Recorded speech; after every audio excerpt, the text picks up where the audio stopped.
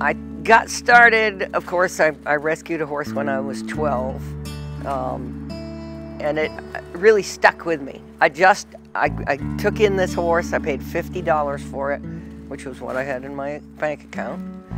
And uh, fattened him up and got him back where he was healthy. He was just starving. And sold him to uh, a neighbor for $100. And I put that money in a coffee can for the next horse that needed help. And through the years, I always had my own horses, but I would always find horses that people mainly had given up on because of behavioral problems. And I enjoyed working with those horses. And then it kind of organically went more into some medical problems and as I was aging and not wanting to get busted up anymore by, and, you know, it's like, I'll get on anything with hair on its back. that, that doesn't happen. And then when I found out about the foals, it was like switching on a light. There's light and there's dark. And I realized that they really needed an advocate in their corner. They, when I started my, the rescue, it was the first independent rescue in the country, I was told. And that was 30, oh, I don't know, 30 some years ago. now there are a lot of horse rescues, but uh, the foals are so specific and they need so much of an eye and an expertise to get them through that first phase, the triage of, you know, uh, that you, people don't want to do it. It's too much. It's the pressure. That's the most difficult thing about this. I'd like to say that the most difficult thing is raising the money. I'd like to say that the most difficult thing is doing the work. It's 24 hours a day. But the most difficult thing is the emotional burden of fighting with death every day to keep them alive. That's what wears on you more than anything. What is the goal for each animal? Each animal, when they come here, that's a really good question. Um, big horses, little horses, they all are evaluated on an individual basis. They all get a diet or you know nutritional supplements or a routine training whatever it is that that horse needs they receive because the ultimate goal is for them to move on I, I owned horses when i was a youngster. I don't own horses any longer. I'm here to help them on their journey and find the most successful permanent hopefully place. So my goal is to find each horse a place where that horse belongs, where it, it suits not only its needs and abilities, but the abilities and the needs of the person that adopts it. They become partners.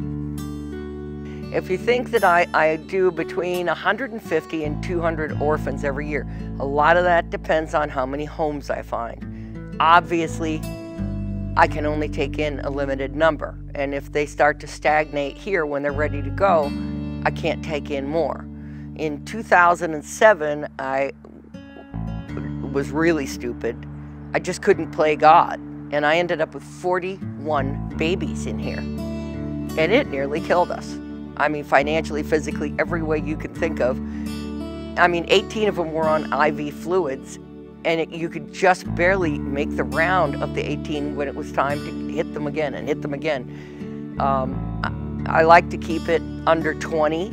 I designed this barn for 12, but there's more need than resources. So uh,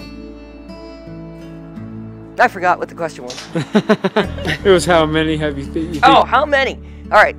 So that year I did 207 babies. It's usually in the 80s, 180s um, to 160s. So between 150 and 200 foals a year for 25 years. You do the math. There's a lot of them. And big horses, uh, I used to do close to between 75 and 100 big horses a year. Now I've, I'm just so inundated with these babies that I probably have 50 grown horses and ponies come through a year. Uh, I've just learned that I, you, the most important thing you can know in this life is what you don't know and what you can and can't do. And I can't have 10 or 15 large animals to work with when I'm working with these guys. It's like a lot of people when I had my babies. I stopped doing a lot of other things because I wanted to do the best by my children that I could. These are my children now, and they're my focus. Another good question. In order to adopt, you're going to have to be qualified. You've got to have horses already because they need to grow up around horses to know how to be horses. And I, I have people say I have a lot of rules. I really don't. But all those rules are based on dead foals and problematic foals that I've seen occur. And so I established rules. You've got to have horses, and you've got to have a significant horse background. You've got to have an appropriate facility with appropriate fences, and that doesn't mean electric wire because these guys, they run straight into solid walls. They're crazy reckless. They're babies and they don't have a mom indicating what's safe and what isn't. So they learn, you know, they drive by braille, so to speak. It's, it's a lot of bumps. Uh, so you've got to have an appropriate facility.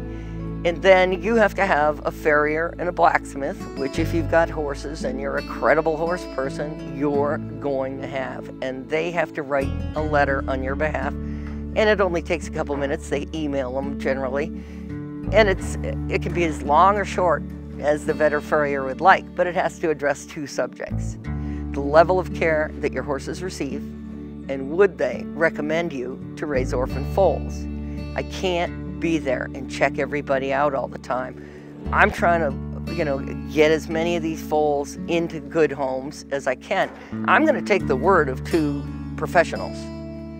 And I can say to them, is this what their farm looks like? Is this the kind of, because people will send me pictures of somebody else's property.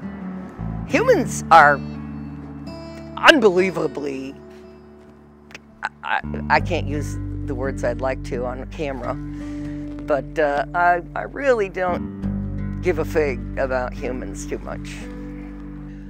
The biggest way in which a person can help us, if they're not in a position to adopt, uh, is, is to help us be able to afford to do this. I'll do the work if I've got the material to work with.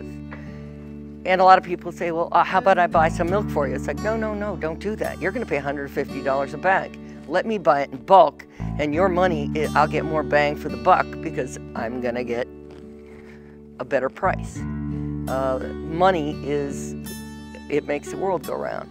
And all these shavings, all that milk, all the medical supplies, people that know what they're doing. Uh, volunteers are welcome, but volunteers don't know what we're doing, and they don't know what that foal looked like yesterday.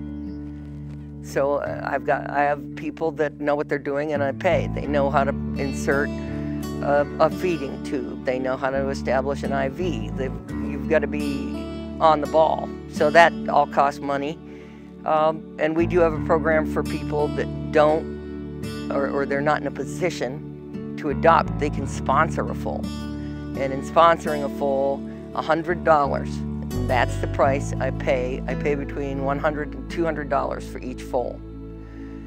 And that buys a life, that $100. And when that foal, if that foal gets placed quickly, we'll turn that $100 around and go buy another life. So I mean, it trickles out pretty quick. Each foal that comes through here at the end of the year, I actually did the math. I wish I'd never done that. It was a dumb idea. It cost me about $900. The adoption fees that are paid, if I pay 100, you're going to pay 150. I'm not losing that much. I mean, I'm losing eight, $750 essentially. And, uh, you know, we rely on the kindness of strangers, people that believe that these animals need a chance. But you can't ask somebody to pay $900 for a foal that they're then going to have to put another $500 in milk. And, you know, it's a big project, it's a big undertaking, and people aren't going to do it if you make it cost prohibitive. These foals aren't abandoned, these foals are a byproduct. Primarily, they're a byproduct of thoroughbred racing you will only find a concentration of nurse mare farms where you have an active concentration of thoroughbred breeding. Anybody from any breed, if they have a mare that didn't make milk or the mare died, whatever, they can lease a nurse mare. But in speaking to the people that have these businesses, it's maybe one or two percent. It's it's thoroughbreds primarily, and it's there are a couple things that drive this. Number one, every thoroughbred, regardless of when they're born during a year, on January 1st, they are considered a year older. If you want a horse to be competitive at a very young age, which you do, you want it born as early in the year as possible. You're not going to have a, a, thoroughbred born in October. It's not going to be competitive by two. All right, so you want them born early in the year. A horse's gestation is 11 months. So you've got an 11 month gestation. You want to breed her back as soon as you can. They come in heat nine days after they deliver a foal. Another rule the jockey club, a horse, any horse that's going to race in this country has to be conceived through live cover. The stallion and the mare have to have a date if, as a broodmare, she delivers a baby, this year's little secretariat, and she's gonna, her job in life is to produce a baby every year. And she's a, this is hybrid money horses. She's gonna have to go and get rebred. Her baby can't go with her.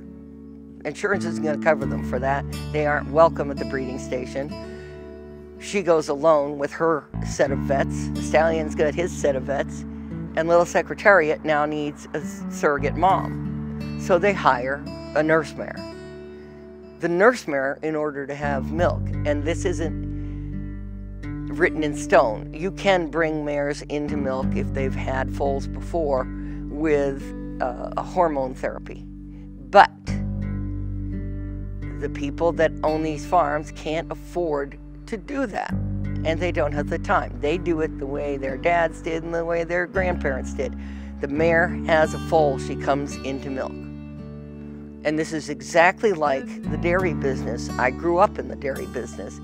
Every year, you would dry the cow up for the last couple months of her uh, gestation, and then she would have a baby and come into milk. And they call it freshening because the milk comes in heavy. The calf was taken away because the milk was the product we were after, and this is the exact same principle. However, there's not a big place in the world for baby horses. They're much more difficult than calves to have them survive. They're much more emotional, and their digestive system is brutally sensitive. If you think about it, the number one killer of horses, you know, outside of some catastrophe, is their digestive system. They colic, they die. Upset stomach, they can't throw up. It's amazing how fragile these animals are. And where that dairy calf, if it's a female, it's going to grow up and go in the dairy business. If it's a male, they're going to buy it and turn it into veal. Nobody wants these babies. And it was uh, for the biggest part, it's been kind of a dirty little secret. Nobody, and, and I've, I've met the people that, you know, they, and they are happy to work with me because they don't want the, these foals to go the other way. I work with three farms that actually care. There are many other farms that I won't deal with because they don't care, and it's nothing to them to put down a foal. They're agricultural animals. That's the other part of this. They're agricultural animals. There are no laws to protect them as if they were companion And you're not going to change horses in the state of Kentucky to companion animals. That would ruin that state's economy. So it's a, it's a complex series of principles that create the need for nurse mares. If they could ship semen on thoroughbred horses, it would stop this industry. But it would take the preciousness of that sperm and there was a horse named Storm Cat. It was $500,000 stud fee. And it took him 28 seconds to do the deed. There's a book written about it called Stud, the most expensive 30 seconds in sports. That, if you had it where you could divide that up and ampules could be shipped all over the world, it would drop the value. So I don't think you're going to see that happen. Hence, it, it, all you if, if something's wrong, if something's wrong and it's happening to animals or children or humans in any capacity or any other species, all you have to do is follow the money and it'll show you where it came from. There's always the driving force of economic gain. And that's what this is about. These foals mean nothing to the people who own the big time racehorses. What is it about horses that you love? Uh, their selflessness. They're giving. I love cows a lot too. They're like the mothers of the world. Um, uh, they don't ask a lot for all that they give us. And if when you think about horses historically, I mean, this country wouldn't have become the country it became without the horse. Did Paul Revere come riding into town on a Hereford? No. Does Prince Charming come to your rescue on a pig? I don't think so. Do we measure power in chickens? No. It's all horses. They've got this romance and this mystique. They represent power to us. They represent the ideals of beauty and freedom. So take your pick. What's not to love?